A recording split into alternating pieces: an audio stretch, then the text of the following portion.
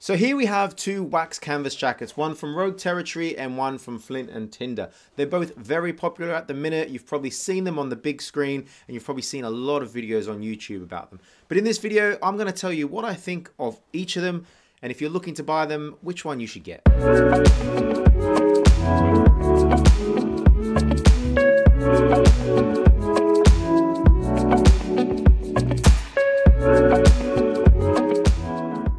As I said in the beginning, two wax canvas jackets. Now this channel and this video is not about going through the fabrics, going through all the particulars about them, because you know there's better channels out there that do all of that. So you can go and look at those. This is really about how does it fit? Now, these are the two jackets that really stand out for me. I know there is a million wax canvas jackets, especially in the US where you guys get a lot more stuff than we have available to us here. So these are the two that stand out to me. And I think probably are the most popular given one of them was in the James Bond film and one of them was in the recent Last of Us film. Now the other reason why I decided to do these two jackets is they're both American made, they're both wax canvas.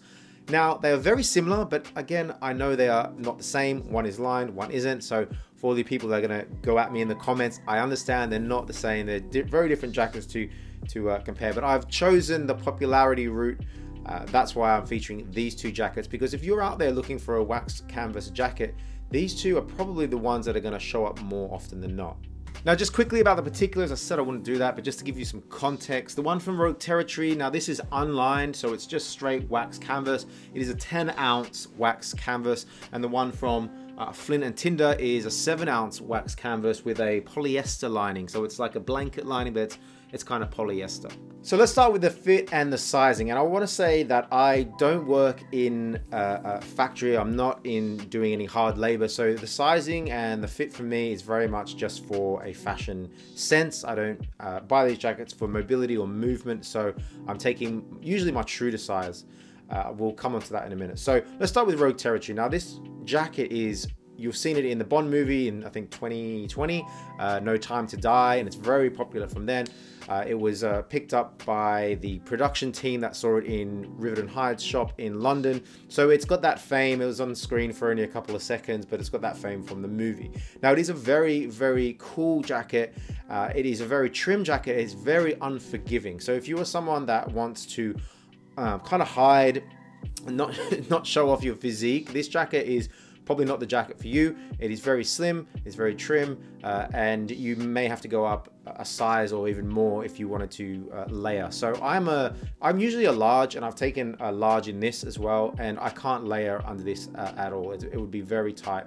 Um, and that is without the buttons done up. I've not really tried doing the buttons up at all. Now let's come on to Flint and Tinder with the sizing. Now this one's an interesting one. This one I've only had recently, and you may have seen my other videos where I had a black one that was in a large, which is my true to size and that is drowning me. So I had to go down a size and I finally got my hands on a medium and I will say the sizing for either Flint and Tinder or maybe it's just American sizing, I don't know. Uh, I still think it's quite big. It's the cut of it. Uh, so I'll say the Flint Tinder is very much forgiving. It's longer in the body as well. Uh, you can definitely layer on it. I have seen other people say take your true to size, but I would be very wary of that, honestly. For me, it looks good. You'll see here that it, it looks good on me, but the feeling of it is very loose, very baggy, uh, definitely when compared to the Rogue Territory.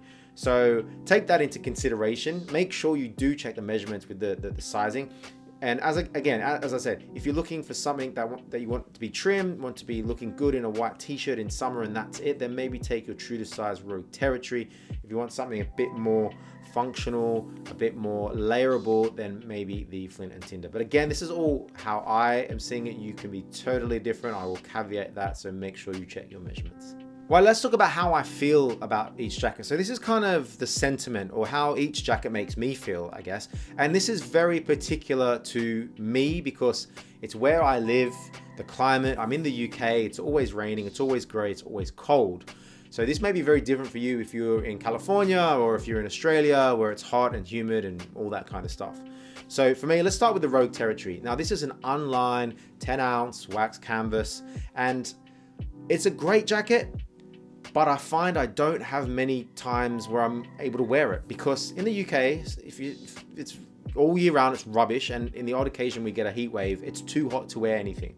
So, and I'm one of those people that if it's a if it's hot, if it's above 30 degrees Celsius, I'm not going to be wearing a jacket. I just I am not. So it, it feels cold to your body when you first put it on because it has no lining and it's wax canvas. Uh, after a while that wax fades so you, you don't get that but it with, with the wax on it it's not really breathable as well. Uh, and then in, in the colder months, in even now in, in spring, it's too cold for me to wear out without anything on. And the fact that I can't layer it as well, unless I went up a size, uh, means that I, I just I, I look for another jacket. I look for some other option than putting that on. But in some days in early summer, when I'm, you know, it's nice and you want to go out, it's a white t-shirt, that jacket, it's there to have. Now it's an expensive option just to have for a couple of days a year. So the jury's still out on that one for me. Now, if I'm talking about Flint and Tinder, much more functional for me.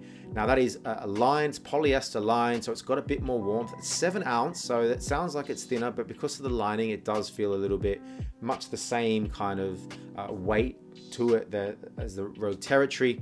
And because it's seven ounce, it's a thinner, and until you get one in the hand, you you you won't really know what I'm talking about. But the Rogue Territory feels very rigid, very stiff, and it still is. And you can't wash it, so it's not. I, I don't find it getting any better. Uh, but the Flint and Tinder is super soft, super supple, straight out of the box. So it's a more comfortable jacket, without a doubt. The Flint and Tinder jacket is definitely more comfortable straight out of the box. And for you guys out there that have the Rogue Territory, you may know what I'm talking about. The rigidity, the, the stiffness of it makes it sometimes really difficult to get your hands in the in the hand warmer pockets. I don't know about you, but it is sometimes very difficult to get organized, if that makes sense. It also only has one pocket on the outside. I mean, they both only have one pocket on the outside, which is your left chest breast pocket. Uh, but I like the flap on the Flint and Tinder. I like to put my keys in there and know it's secure with the button. Uh, it's, it's just something I like, whereas the Rogue Territory just has the little slit uh, and I can put stuff in there, but again, it's not very big. They both have an internal pocket for your phone, uh, so they're both equal there, but I think the Flint and Tinder pockets, the hand warmer pockets are a bit uh, more easy to access for me. Let's talk pricing now. The Rogue Territory is probably the most expensive uh, amongst other wax canvas jackets as well. That comes in at I think 325 dollars, which is quite pricey for that jacket, uh, but it's still, as I said, great jacket. Might fit your climate better than it fits mine. The Flint Tinder Wax Trucker jacket is 298 I believe which is I think still it's pretty similar to be honest but you're still getting a lining uh, and for me it's a bit more functional in these kind of months. So yeah make what you will of that. I haven't got any others to compare it to. They're the only two wax canvas jackets that I have but I think they're very much on par with pricing. Construction wise I think the Rogue Territory comes across as a more of a sturdier jacket. Uh, they're both American made though so I think they're both going to be equally amazing. But just that Rogue Territory feels stiff, feels durable. Uh, the the hardware as well for me feels a little bit better. And if you're the kind of person that's going to be working outdoors, working, uh, lifting things, moving things around, you may not want that lining, right? And you might want a durable jacket uh, that is just a kind of like a, a shell, and that's exactly what the Rogue Territory one is. They're both going to patina amazingly though, or my Rogue Territory one my Rogue Territory one is already starting to get, wow, I say it is, but it, it, just on here, I use this pocket quite a lot, starting to get a bit browner here and a bit browner around the edges here. Uh, and that's just from daily use. The wax is getting a bit dirty as well. Now, keep in mind as well that the wax does wear off, but you can re-wax. Now, Rewaxing a jacket is not something I've done, it's something that is on my list. I've got the tin of wax. You can buy different brands of wax to re-wax jackets. Uh, but by all reports and what I've seen online from other YouTubers doing it, it looks like a pain in, yeah, you know, it's it looks like a right, you know, no, I, I'm, I'm going to hold off doing that. But you can do it with your jacket if you want to. Uh, so don't don't think that when the, the wax wears off, that's it. You have to get another one. You can re-wax it. Availability wise, they both come in and out of stock. As I said, one was from James Bond, one was from the Last of Us TV series that's just finished.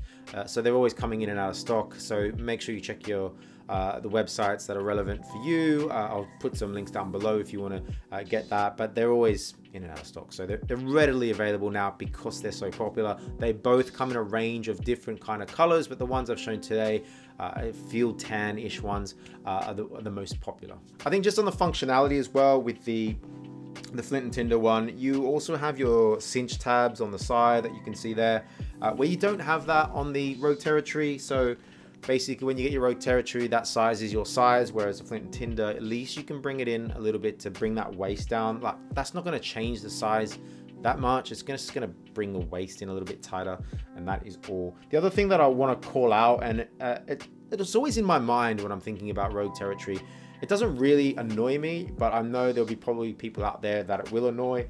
Um, and it's Rogue Territory's branding. We all know about it. It's that little, what is it, faux buttonhole or whatever it is there. Uh, they have it on all their garments pretty much.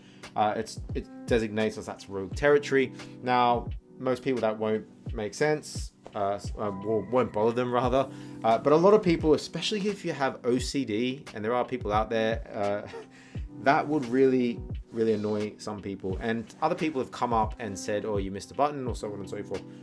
I just had to call it out. Right, that's it, guys. I hope I've given you some food for thought. So that really is the reason why I'm doing this video and you know I like to do these kind of videos is to give you is to give you really my opinion for people out there that are wanting to make a purchase one of these things the whole premise of this channel was to do that because these things are expensive. You can see images on Instagram, but that's not the same. You want to hear firsthand how someone has worn it, what it's like, things to look out for that you know, won't necessarily see when you go into the shop when you're blinded by the salespeople or blinded by the item. So that's just my thoughts. Really think about what you want to use the jacket for if you're deciding on one of these two, uh, because they are both very different jackets in that sense.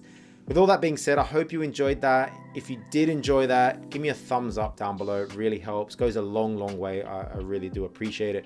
Uh, and if you haven't subscribed already, really love it if you could stick around, hit the subscribe button, hit the bell icon. You'll get notified if I put any more videos like this up. And let me know if there's any requests of stuff that you want to uh, have me look at as well. And I'll try and do my best. With all that being said, guys, have a great day and we'll see you next